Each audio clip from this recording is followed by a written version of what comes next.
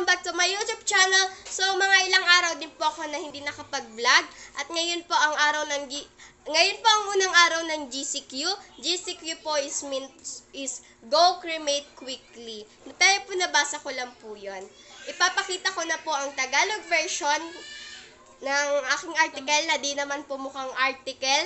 Pero ako po ang gumawa niyan. Sa mga nagpapa-shoutout po lahat tayo ay may kanya-kanyang kwento ng buhay at pangarap. Buhay na tila isang pagsubok na at kailangang maabot ang dulo ng bahaghari at bundok na kailangang akyatin. Pag-aaral, determinasyon, pagsusumikap at tiyaga. Yan ang susi upang makamit ang ating pinakamimithing pangarap. Kabataan ang pag-asa ng bayan, ika nga. Pero marami pa ring bata ang hindi nakapag-aaral na tila ba isang hangin na kung saan sila mapadpad ay doon na lamang. Meteorologist! Yan ang aking pinakaasam na pangarap. Kaya naman pagbubutihin ko palalo ang aking pag-aaral upang maabot upang maabot ko ang aking pangarap. Hindi hadlang ang kahirapan, kundi ito ay tila ba isang pagsubok at hamon na kailangang nating mapagtagumpayan upang makamit ang ating pinakamimithi. Darating ang araw na kaya ko nang tumayo, tumayo ng matayog at patunayan sa lahat ng umaasa at naniniwala na ang kabataan ang pag-asa ng bayan.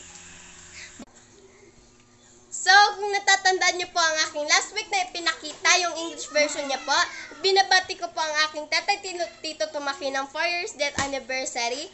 4 years since he passed away. Dalaw daw po kayo sabi ni Mama.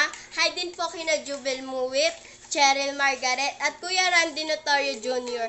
At belated happy birthday po kay Tita, kay, kay Tita Enak ng Summer. An- nanay po siya. Nanay po siya ni Ate Binya Espersa. At at kay Tita Beran Espiritu ng Pandibulacan kay Ate Kim Obod. Ha- happy 13th birthday po.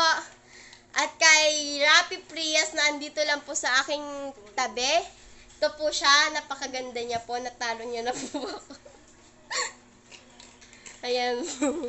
At hello po sa inyo sa inyong lahat, Baby Miguel Frias po na sobrang bait at sa maganda tabi na Nieva Arroyo, Frias Arroyo. Ah, hanggang sa muli po. Again, my name is Bana. Don't forget to subscribe, hit the notification bell, like, and ayun po, bye-bye. Thank you for watching. Yan po, may kachat po siya.